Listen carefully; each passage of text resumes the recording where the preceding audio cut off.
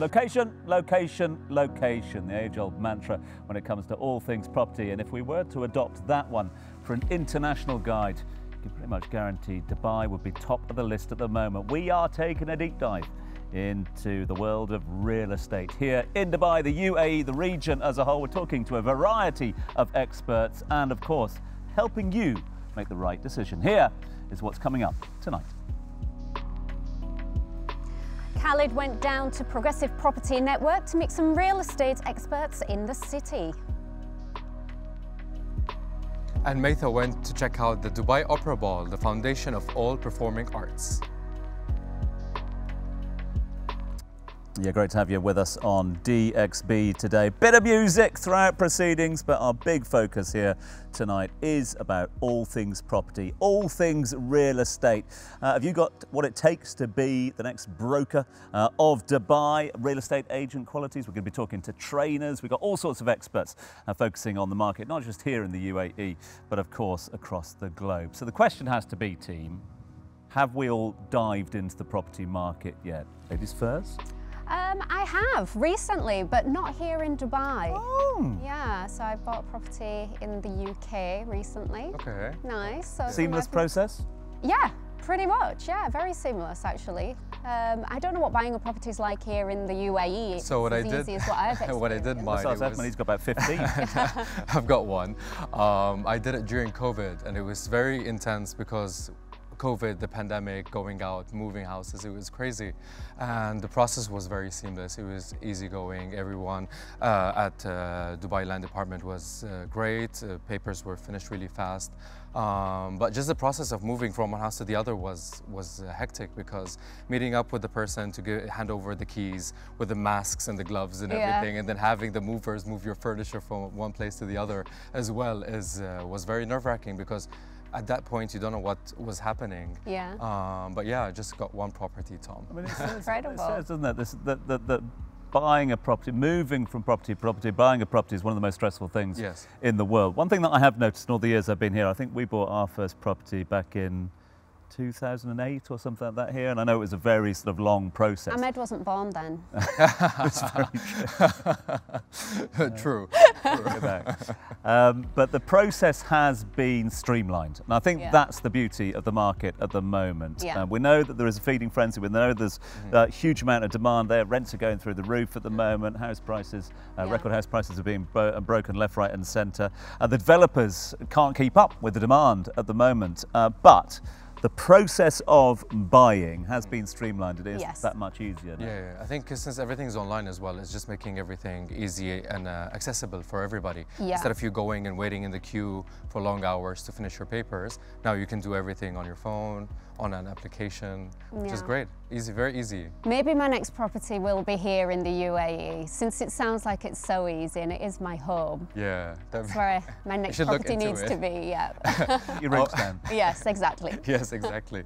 Since today is all about real estate, let's see who we have here in the studio with us as the guest co-host.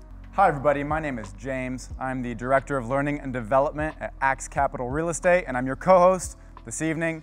We'll see you in the studio soon.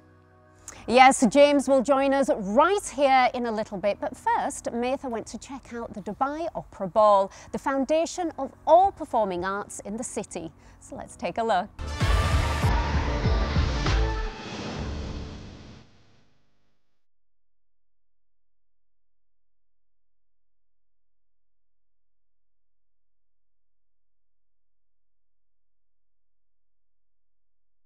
The Dubai Opera is the pinnacle of performing arts here in Dubai, and tonight they are showcasing some phenomenal talent.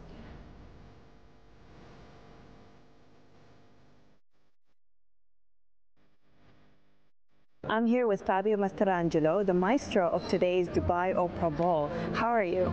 I'm very good. I'm uh, very excited to be in Dubai. It's not my first time in Dubai, but it's my first time conducting my own orchestra from St. Petersburg, Russia, in this beautiful opera house. Today, I mean, we are doing many things with uh, my dear friend Hans Joachim Prey and with many stars from the opera, and uh, not only. I mean, we have uh, Vittorio Grigolo. So I, I think it's a wonderful way to mingle and to receive some uh, very special emotions. And how long did it take you to prepare for this? Uh, well, my, my orchestra is a professional orchestra, so I mean all the all the music that we play together is music that we perform many, many, many times. We could close our eyes and still play. so uh, it took about a couple of days.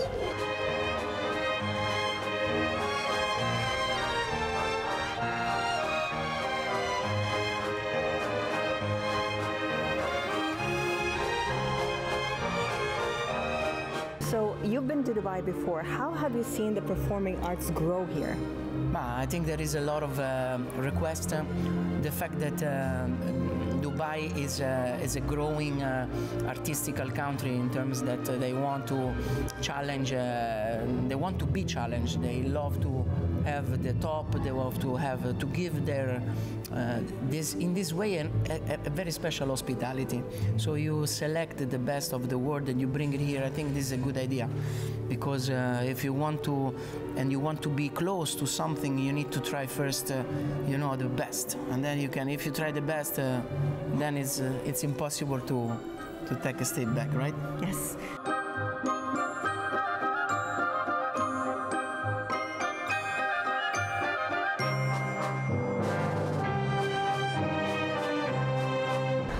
Performers from all over the world have gathered here to celebrate the opera. Day by day, Dubai is becoming more and more of a hotspot for performing arts. If you want to be witness to the action, make sure you grab a ticket.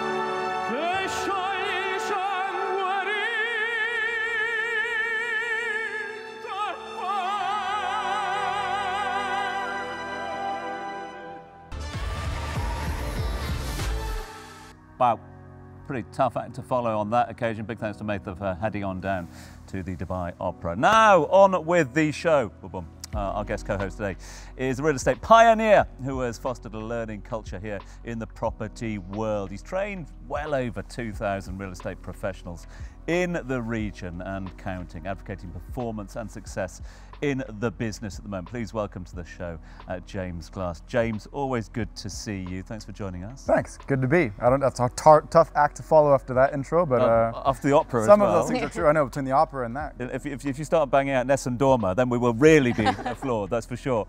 Uh, listen, let's talk. It's one of those things, isn't it? You know, and with a booming real estate market as we're experiencing at the moment, it's attracting a lot of talent. It's also attracting a lot of people who are looking for a quick fix as well. Um, a lot of people think that they could be a real estate broker. A lot of people assume that they could sell a house or a flat or apartment. What are the sort of unique skills that you're looking for? Yeah, good question. I mean, look, essentially anybody can uh, if they have the right determination. Uh, and the two things I always look for is just attitude and work ethic, right? If you have a positive attitude uh, and you've got just a, a crazy, gritty work ethic, then you probably can be successful because it's not actually rocket science. If you get the right knowledge that you need, you got the right support system, you've got the right brand behind you supporting you, and you're just willing to be positive because it gets tough, right? Like it's mostly commission based. Uh, it's not an easy gig. It's not an easy industry to be in, and it's ups and downs, right? Every single agent in, in the in the world, right? really anywhere in the world in real estate, but especially in Dubai, can tell you there are downs, and it's the people that are able to stay positive and stay gritty in those moments that are probably going to be successful. So you just mentioned their commission. Here we go. We're going to skip that. Next. So if I was to become a real estate agent, how quickly is it until you start making those big bucks? Mm. Yeah, good that- question. That's what everyone wants to start making, isn't it? Yeah, That yeah. money. Yeah, lots of different uh, like company structures as far as what an agent does when they join, right? So like some companies will have a leasing team where if you're mm-hmm. new to the industry, you'd have no experience, you would start as a rental agent, right? You're renting properties.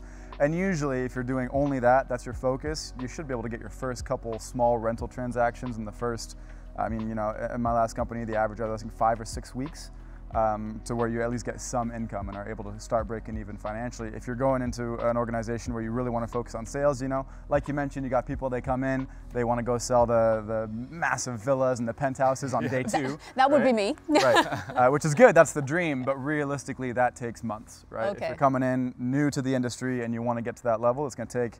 You know, I tell people prep for six months of making no money, and and you can do it. But again, that's where the attitude and that work ethic and the grittiness comes in, right? Okay. And okay, we talked about the commission right now, but how do you go on training these agents when they come to you? Yeah, uh, we do a lot because Yeah. it's a whole new industry, right? And we do get a lot. I mean, obviously there are uh, good, experienced professionals coming Yeah. coming over, especially when you have a brand like AX Capital growing in the market. We literally just won last night a, a big award, uh, best quality brokerage uh, in Dubai for 2023. So that was exciting. So when you have that kind of brand, it's easy to attract good talent, Yeah. but it's also easy to attract people who are new to industry who are just excited. So you need a very rigid, structured training program to be able to give people the support that they need. Do you? Um, and I get, keep going. I will keep going back to this. The fact that we are in a in, in this sort of this this bull market at the moment. Things are literally charging forward at, at present, and things are happening very quickly as well. Is part of your job to manage expectations when the market's buoyant? There's plenty out there for the fish to feed on, etc. But that market is going to go through ups and, ups and downs, isn't it? Yeah, I mean, look, we talk about the market, we educate people on the market, um, but also no one has a crystal ball, right? So Yeah. everyone a year and a half ago was thinking, ooh, have we reached the, the post-COVID peak, right? And here we are 18 months later, the market's still booming. So we don't focus too much on the market. We're very realistic. We're very aware that the market will change as it always does. Uh, and also that that's not a game changer. That's not an ender, right? Like there are transactions that happen in a plateaued or a downward market, and it's the companies that position themselves well, the agents that set themselves up, especially with uh, you know their network and their clients for those moments, who end up succeeding in, in that time. So yeah, I mean we talk about the market. That's the reality. We all expect at some point that there will be some sort of a little downward turn that would only be natural and healthy Yeah. for those of us who are paying rent. Um, but yeah, you know we, we talk about it. So I mentioned earlier that I might be looking for a property in the UAE. What do I need to look for when it comes to a real estate agent? What kind of With a real yeah, estate agent, yeah, Yeah, like what kind? Yeah, what Uh, kind of skills do I need to know that they have, etc. Yeah, I mean, look, the first thing I look for is just someone who's going to be honest. Uh, Yeah. The reputation uh, in the market is that agents are not very honest, and that's not a Dubai problem. That is, again, an international, worldwide problem for the real estate sector. So I would just, you know, the biggest thing is just finding someone who actually is going to care more about you and helping you find the right fit for you rather than just selling the, selling you what they want to sell you. Yep. As soon as you find that person, um, you know, the, the next thing is really just going to be location based. So at AX Capital, all of our secondary agents are area focused, right? Because you can't learn all of Dubai. It's Yep. way too big of a city. So you have a community, an area of Dubai that you really focus on. You become an absolute expert in that area. I'm talking, you know, every building, its name, location, the developer, who the contractor was, who built it, what the floor plans, types, prices per square foot. I'm talking like you know the area, right? And when you meet someone like that, who's honest and cares about what you want, then they'll be able to help you, right? And that's what we aim to develop at AX Capital as agents who do that in all, all communities across Dubai. You said being honest. That's a, a key word because a lot of people have that perception that uh, the agents all they all they care about is themselves. All they want is the high commission, They're- and they call them like sometimes you think they're greedy. Yeah. How do you tackle um, that? Yeah, well, the question he's been waiting to Yeah. yeah. yeah, look, it's tough, right? Obviously, in a commission-based industry, uh, if you don't perform and you don't sell, you don't make money, you have to resign and probably move home. We see it all the time, unfortunately. So it's a reality that, yeah, they're going to be salespeople. They're going to be a little pushy because they want to eat, right? Yeah. Uh, but it's just finding that balance of understanding that if you just push a product on someone, like for example, if you bought a property next week, right, but you ended up buying a property that wasn't right for you because you found a really good salesperson who could sell something to you, in a year, you're probably going to be unhappy. Mm-hmm. And you're not going to refer your friends, you're not going to tell your family, you're not going to buy again with that agent. So the main way to tackle that is understanding that long-term goal that hey, if I do a really really good job with Amy, and I actually sell her the right product for her, she'll be happy, we'll be friends. She'll mm-hmm. come back, back in six months. When she sells, she'll sell it with me, she'll buy something else, she'll rent with me, and if I do that with 100 clients, I'm set, right? So that's the mindset we go for. Last one for me. Um, a big thanks to you for being guest co-host today. So plenty more coming um, from you a little later on. But